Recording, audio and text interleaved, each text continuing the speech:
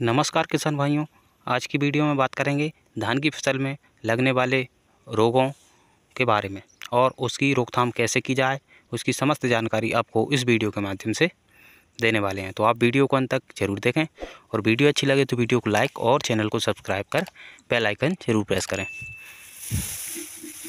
तो चलिए शुरू करते हैं। जैसा कि आप यहाँ पर देख सकते हैं कि धान की फ़सल में जो भी दवाइयाँ प्रयोग की जाती हैं, लगभग हमने यहाँ पर सभी को रखा है।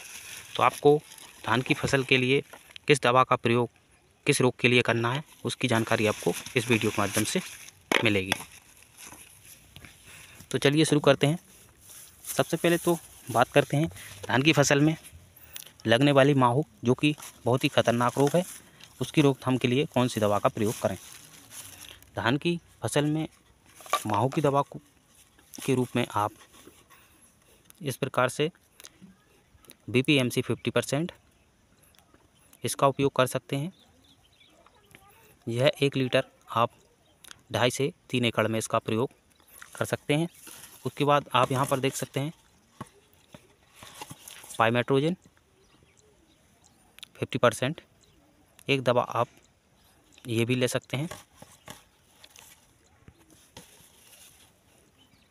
पाइमेट्रोजन फिफ्टी परसेंट भी आप जैसा कि आप देख सकते हैं, यह 500 ग्राम का डब्बा है। इसका प्रयोग भी आप पाँच बीघा तक कर सकते हैं और साढ़े सात तक भी आप इसका स्प्रे कर सकते हैं। उसके बाद आपको धान की फ़सल के लिए आवश्यकता है इल्ली की दवा की तो उसके लिए आप क्लोरोफायरिफॉस फिफ्टी परसेंट और साइफरमेथिन इसका प्रयोग करें। अगर आपकी फ़सल में ज़्यादा इल्ली है तो उसकी रोकथाम के लिए भी आप इसके अलावा, जैसा कि आप यहाँ पर देख सकते हैं प्रोपेनोफास चालीस परसेंट साइफरमेथिन चार परसेंटेज और उसके अलावा, अगर फिर भी आपकी इल्ली कंट्रोल ना हो रही हो तो आप एम एम एटीन बेंजवेट इन तीनों का स्प्रे कर सकते हैं। और आपकी धान की फ़सल में लगने वाली फंगस के लिए आप हेक्साकोनाजोल जैसा कि आप यहाँ पर देख सकते हैं। हेक्साकोनाजोल आप इसका स्प्रे भी कर सकते हैं, जो कि पाँच परसेंट ऐसी लिक्विड फॉर्म में आपको मिलता है।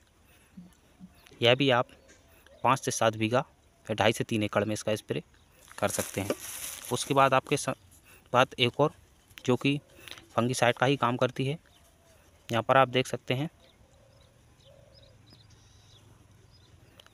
ओनियन गोल्ड एबिकोनाजोल छः दशमलव सात परसेंट और कैप्टन छब्बीस परसेंट। यह आप एक एकड़ में इसका स्प्रे कर सकते हैं।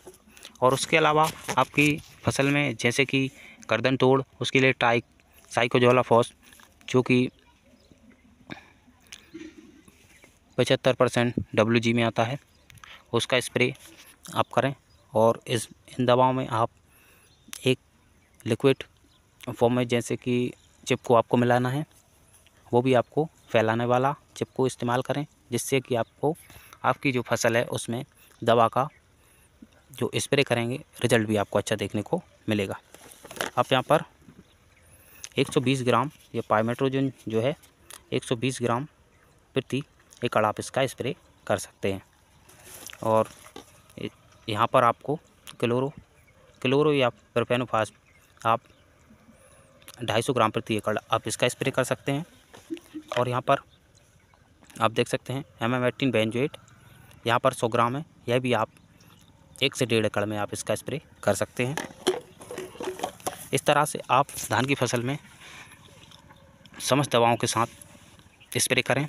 तो आपकी फ़सल में लगने वाली माहू, इल्ली, गर्दन तोड़ आदि सभी बीमारियों का इलाज एक ही दवा से हो जाएगा। तो आशा करते हैं कि आपको जानकारी अच्छी लगी होगी। जानकारी अच्छी लगे तो वीडियो को लाइक और चैनल को सब्सक्राइब ज़रूर करें और साथ ही वीडियो को अन्य दोस्तों के साथ शेयर करें। धन्यवाद।